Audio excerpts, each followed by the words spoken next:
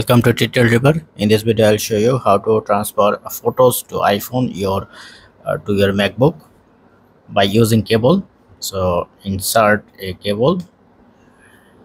And then you have to go your launcher launchpad then go to your search option and press image. This option image capture.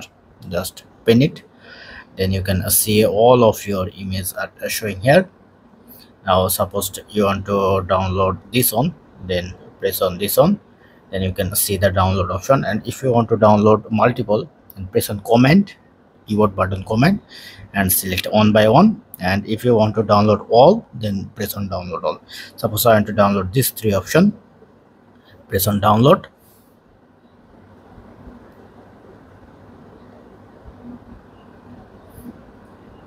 and I think uh, this file already downloaded. So I am selecting the different file.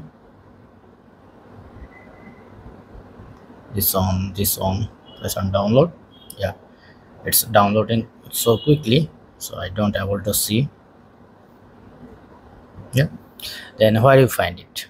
So for that you, you have to go your go option then go to your computer and then go to your drive then you can see the user option. So you have to press on user then enter your then you can see the pictures option. Select pictures then you can see all of your images here. So that's it. This is how you can easily transfer images. So hope video useful. Please do subscribe and thumbs up. Have a good day